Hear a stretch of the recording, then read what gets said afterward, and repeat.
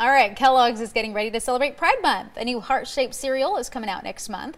It'll be available for a limited time, and this cereal is berry flavored, and the colorful pieces there, they're topped with glitter. For each box sold, Kellogg says it's donated $3 to GLAAD, which helps with LGBTQ acceptance.